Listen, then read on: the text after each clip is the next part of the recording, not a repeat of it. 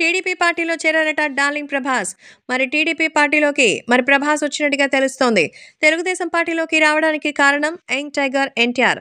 ఎన్టీఆర్ అంటే ఇష్టపడినటువంటి మరి సినిమా అభిమాని కానీ లేకపోతే సినీ నటులు కానీ ఎవరుంటారు?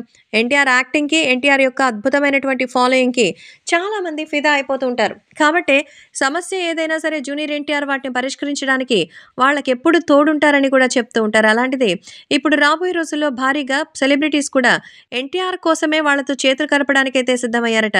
జూనియర్ ఎన్టీఆర్ మంచి మనసుకి ఎంతో మంది అభిమానులు ఉన్నారు అందుకే జూనియర్ ఎన్టీఆర్ని చూసి చాలా ఇష్టపడి సో తెలుగుదేశం పార్టీలోకి ఆయన ప్రభాస్ వచ్చినట్టుగా తెలుస్తోంది.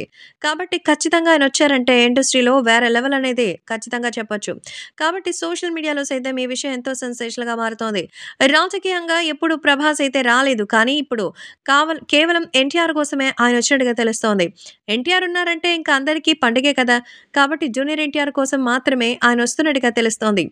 సో డార్లింగ్ ప్రభాస్ ఇప్పుడు రాజకీయాల్లోకి వచ్చి మరింతగా సందడిగా మారినట్టుగా సమాచారం. సో యంగ్ టైగర్ ఎన్టీఆర్ వచ్చి తెలుగుదేశం పార్టీ కోసం గట్టిగానే మరి ప్రయత్నిస్తూ ఉన్నారని అందుకోసమే కేవలం ఎన్టీఆర్ కోసం రాజకీయంలోకి రావడానికి ఒప్పుకున్నారట మన ప్రభాస్.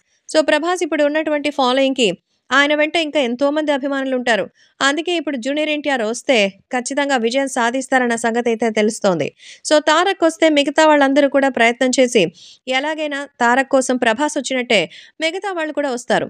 అందుకే ఇప్పుడు డార్లింగ్ ప్రభాస్ కూడా కేవలం జూనియర్ ఎన్టీఆర్ కోసమే ఇలా రంగంలోకి దిగినట్టుగా తెలుస్తోంది. ఏకంగా తెలుగుదేశం పార్టీలోకి అఫీషియల్గా ప్రభాస్ జాయిన్ అవ్వడం రాష్ట్ర వ్యాప్తంగా ఎంతో సంచలనంగా మారింది.